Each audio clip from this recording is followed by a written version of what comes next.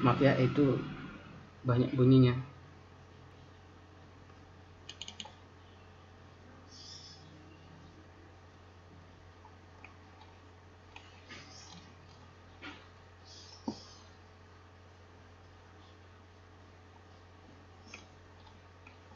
Nah jadi ini poin-poinnya uh, konturnya.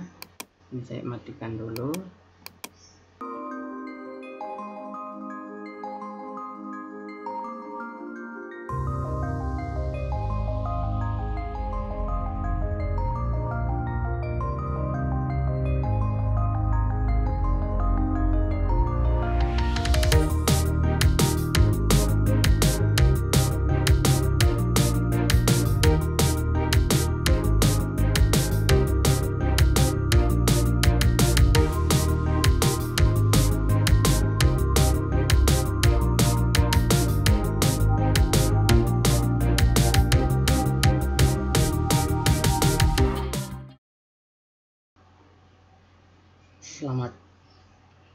pagi.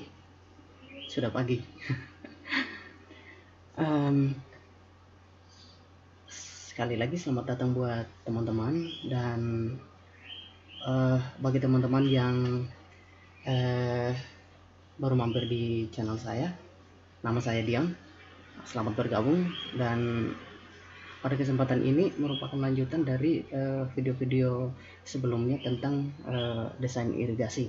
Jadi di video-video sebelumnya itu kita sudah uh, berbicara uh, sumber air yang kita gunakan, yaitu menggunakan sumber air bor berdasarkan pertimbangan dari tiga alternatif dan kita mem mem memilih uh, yang paling paling efektif dan ekonomis, namun tidak mengurangi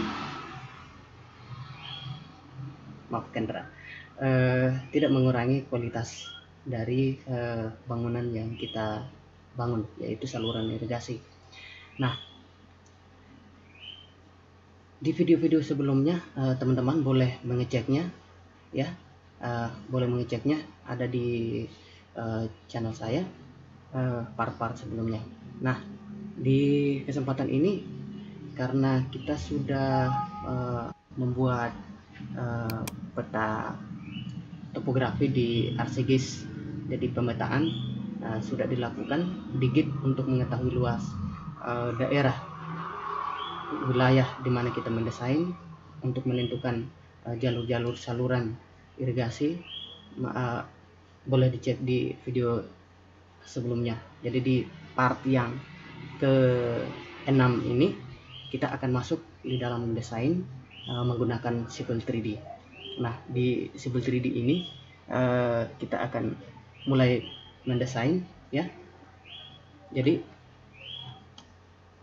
seperti biasa kita akan membuat peta uh, topografi untuk uh, merencanakan saluran-saluran mana ya, uh, yang lebih efektif.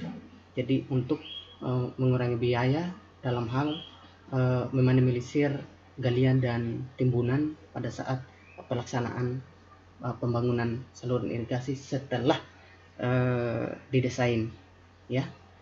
Jadi yang pertama kita menggunakan poin yang sudah disiapkan. Jadi seperti biasa untuk uh, membuat peta topografi. Jadi kita akan uh, mengcopy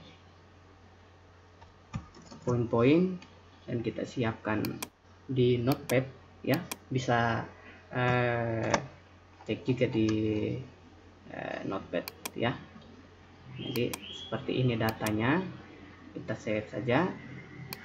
Uh, kita save. Dan ya poin ya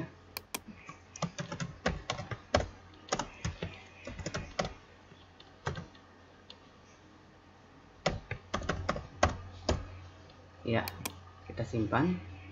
Kita tutup saja tidak masalah.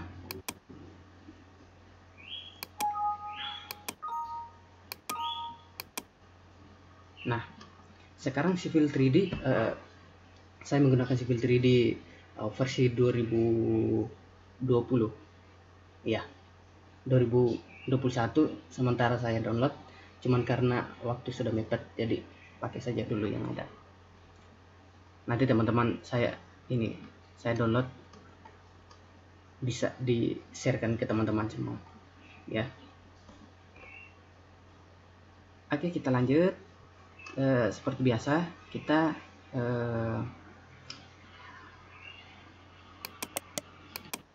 membuat titiknya dulu ya.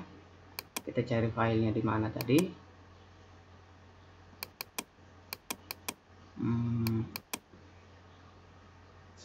ya.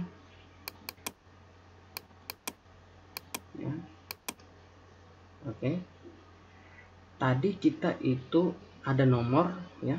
Ada nomor ada uh, listing norting elevasi elevation ya.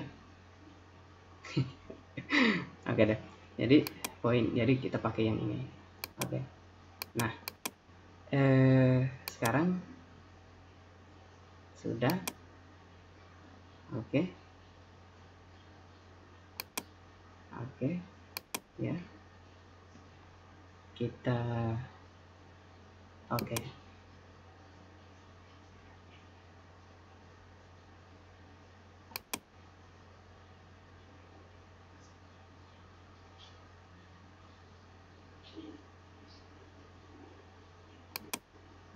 sabar ya kita saya kebetulan eh,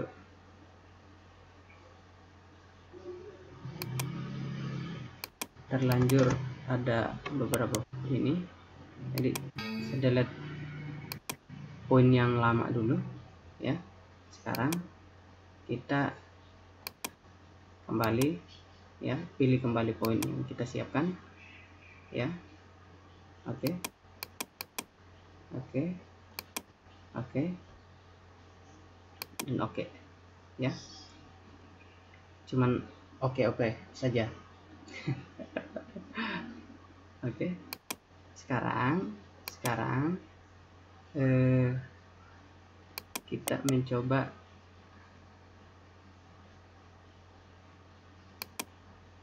jadi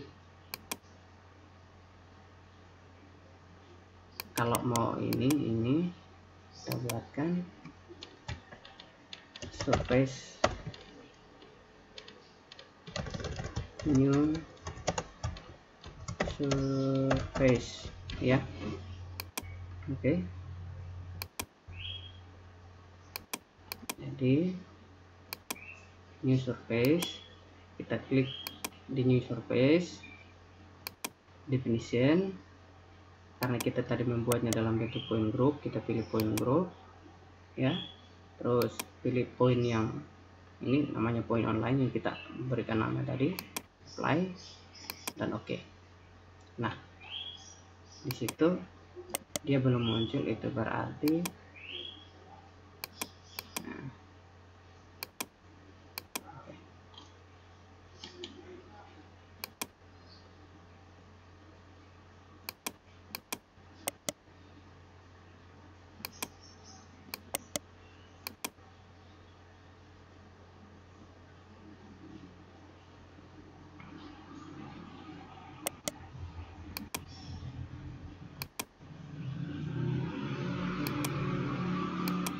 maaf ya itu banyak bunyinya.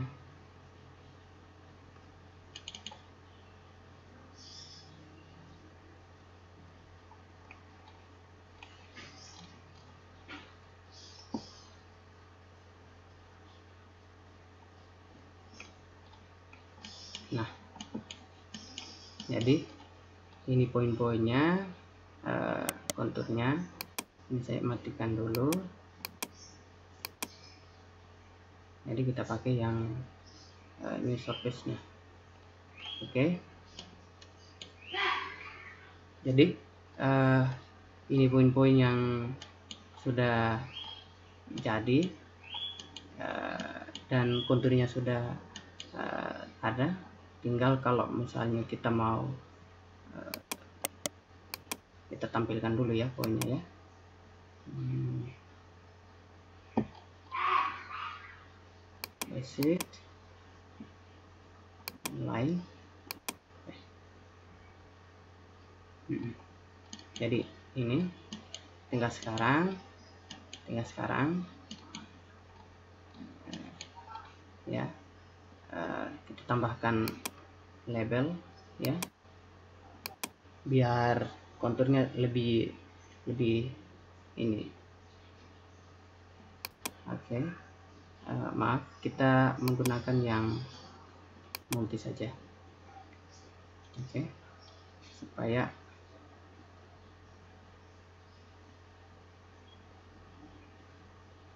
sabar ya laptopnya lagi lagi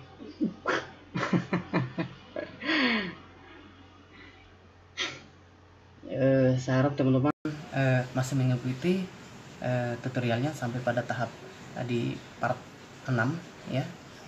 Jadi kalau misalnya bingung boleh dicek di part sebelumnya. Jadi konturnya sudah jadi. Nah di di part yang berikut nanti kita akan masuk Eh, memasang saluran-saluran berdasarkan dari hasil desain eh, eh, posisi-posisi uh, peta posisi-posisi petak-petak sawah yang ada saat itu ya. Nah ini kalau mau itu aja ya.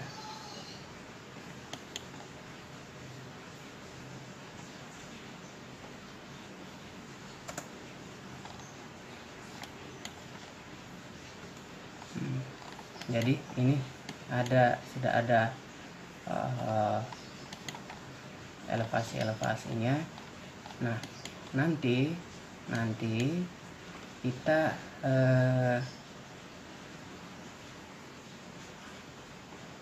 akan ambil petak-petak sawah yang kita nanti kita akan ekspor uh, arsigisnya masuk di Civil 3D. Jadi kita akan mengkoneksikan data ya dari ArcGIS masuk di Civil 3D sehingga posisinya itu tidak tidak tidak tidak tidak tidak ini selalu presisi presisi maksudnya tidak lari ke sana kemari. Jadi itu dulu untuk uh, tutorial kali ini ya.